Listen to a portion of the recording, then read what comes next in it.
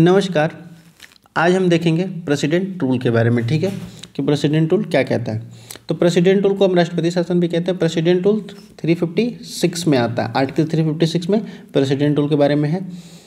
अब कह रहा है कि president rule is also known as state emergency और कॉन्स्टिट्यूशनल इमरजेंसी यानी प्रेसिडेंट रूल को स्टेट इमरजेंसी के नाम से भी जाना जाता है कॉन्स्टिट्यूशनल इमरजेंसी के नाम से भी जाना जाता है प्रेसिडेंट रूल को, ठीक है?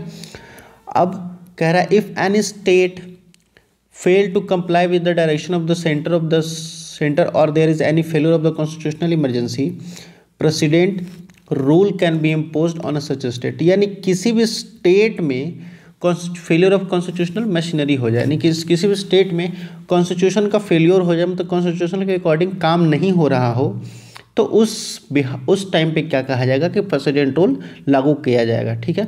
अब प्रेसिडेंट रूल लागू होगा, जब प्रेसिडेंट रूल डिक्लेयर होगा तो प्रेसिडेंट एंड जो भी किसी भी स्टेट में तो किस बेसिस पे होगा? जो रिपोर्ट गवर्नर बना के भेजेगी प्रेसिडेंट को, ठीक है? यानी सपोज़ कीजिए कि यूपी में क्या कहते हो? कि प्रेसिडेंट रूल लागू होना है यूपी में कॉन्स्टिट्यूशनल का फेल्योर हो रहा है तो यूपी का जो गवर्नर है, यानी राज्यपाल वो क्या करेगा? राष्ट्रपति को रिपोर्ट बना करके भेजेगा और उस बिहाफ पर पे राष्ट्रपति क्या करेगा? प्रेसिडेंट रूल लगाएगा, ठीक है? अब प्रेसिडेंट रूल लगाने का अप्रूवल और ड्यूरेशन क्या क्या है? ठीक है? तो कहता है proclamation must be approve by the both house of the parliament by simple majority यानी दोनों हाउस के पार्लियामेंट यानी सॉरी पार्लियामेंट के दोनों हाउस लोकसभा और राज्यसभा से पास होना चाहिए किसमें? सिंपल मेजोरिटी में। सिंपल मेजोरिटी में पास होना चाहिए। और कब तक? विद इन टू मंथ यानी जब इशू होगा प्रोक्लेमेशन इशू होगा, उसके दो महीने के अंदर अंदर सिंपल मेजोरिटी से लोकसभा, राज्यसभा से दोनों से पास हो जाना चाहिए। ठीक? और जब ये अप्रूवल प्रेसिडेंट रूल लागू हो जाएगा तो ये कम से कम मतलब छः महीने तक कंटिन्यू चलेगा। लगातार छः महीने तक चलेगा एक बार में, ठीक है? और उसके बाद फिर से अगर आपको लगाना है तो फिर क्या? फिर एक बार और अप्रूवल लेके आइए, फिर अगले छः महीने तक चलेगा। और ऐसा करके कब तक चलेगा? तीन साल तक। ठीक? तीन साल तक क्या होगा? आप मैक्सिमम तीन साल तक किसी भी स्टेट में कंटिन्यू प्रेसिडेंट रूल लगा सकते हैं, लेकिन आपको क्या होगा, हर छः महीने अप्रूवल लाना पड़ेगा पार्लियामेंट से, ठीक है? पार्लियामेंट, जैसे सपोज़ कीजिए कि यूपी में प्रेसिडेंट रूल लगा, ठीक? यहाँ आज लगा और आज से लेकर के छः महीने तक कंटिन्यू रहेगा, ठीक है? और उसके बाद भी अगर जारी रखना है तो फिर से अगले छः महीने के लिए आपको अप्रूवल लाना पड़ेगा पार्लियामेंट से, ठीक है? अब वो हटेगा कैसे प्रेसिडेंट रूल प्रेसिडेंट रूल के हटाने का। हटेगा कैसे? तो कह रहा है प्रेसिडेंट रूल कि it can be remove by the president rule with the proclamation such proclamation does not require a parliamentary approval यानी किसी, जब भी प्रेसिडेंट रूल हटेगा तो उसके लिए किसी पार्लियामेंट अप्रूवल की ज़रूरत नहीं पड़ेगी कि आपको लोकसभा और राज्यसभा से पास करवाना है। ऐसा कुछ नहीं है। आपको प्रेसिडेंट सिंपल प्रोक्लेमेशन से वो रिमूव कर देगा प्रेसिडेंट रूल ठीक है? उतना तामझाम की ज़रूरत नहीं पड़ती है, सिर्फ़ लगाने के टाइम पे पड़ता है। अब आते हैं इफ़ेक्ट क्या होता है? प्रेसिडेंट रूल जब लगती है तो उसका इफ़ेक्ट क्या होता है? इफ़ेक्ट कहता है पहला आपका कि if the president declare the parliament exercise the power of the legislature ठीक? जब प्रेसिडेंट रूल डिक्लेयर हो गया तो पार्लियामेंट एक्सरसाइज जो है पार्लियामेंट के पास चला जाएगा स्टेट लेजिस्लेचर का पावर ठीक?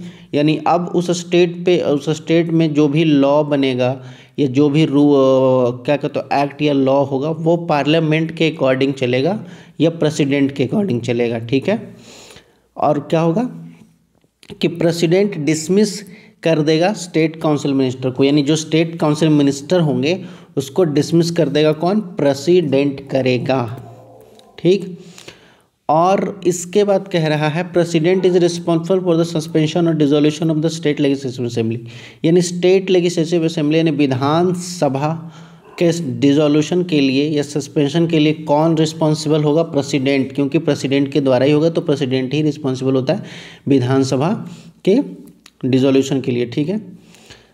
कह रहा है any law made by the president और a parliament during this period to be cooperative even after the sorry operative even after the president rule यानी कह रहा है कि कोई भी रूल अगर प्रेसिडेंट रूल के टाइम पे लग, बनता है तो वो प्रेसिडेंट रूल के बाद भी फॉलो होगा। यानी आप एक वैसे एग्जांपल ले लीजिए। सपोज़ कीजिए कि बिहार में प्रेसिडेंट रूल लागू हुआ। ठीक? अब बिहार में प्रेसिडेंट रूल लागू हुआ तो प्रेसिडेंट और पार्लियामेंट के पास है पावर बिहार का। ठीक है? तो उसके बाद प्रेसिडेंट या पार्लियामेंट क्या एक रूल बनाती है कि आप पूरे बिहार वालों को हर रोज़ सुबह उठ करके सूर्य नमस्कार करना है। ठीक है? तो ये एक रूल बना। तो ये रूल के अकॉर्डिंग क्या होगा कि ये पार्लिया प्रेसिडेंट रूल ख़त्म भी हो जाएगा ना? उसके बाद भी ये रूल बना रहेगा कि पूरे बिहार वालों को रोज़ सुबह उठ के सूर्य नमस्कार करना है। ठीक, उस स्टेट में पूरा बना रहेगा। प्रेसिडेंट रूल ख़त्म होने के बाद भी। ठीक? नेक्स्ट कहता है कि it has no effect on fundamental rights यानी फंडामेंटल राइट्स का कोई भी वायलेशन नहीं होता है, आपके मौलिक अधिकार का कोई भी वायलेशन कोई भी सस्पेंशन नहीं होता है प्रेसिडेंट रूल में, ठीक? वो नेशनल इमरजेंसी के टाइम पे होता है आपका और फाइनेंशियल इमरजेंसी के टाइम पे होता है, ठीक है? ये दोनों के टाइम पे होता है प्रेसिडेंट रूल के टाइम पे नहीं होता। और आप लोगों को हाँ कमेंट सेक्शन में बताइए नेशनल इमरजेंसी कौन से आर्टिकल में आता है? फाइनेंशियल इमरजेंसी कौन से आर्टिकल में आता है, ठीक है? अगर आपको इसका पीडीएफ चाहिए तो आप लोग, मैं कमेंट सेक्शन में बोलिए, आपको पेड प्रोवाइड करा दिया जाएगा, ठीक? मिलते हैं नेक्स्ट वीडियो के लिए, तब तक के लिए थैंक यू ऑल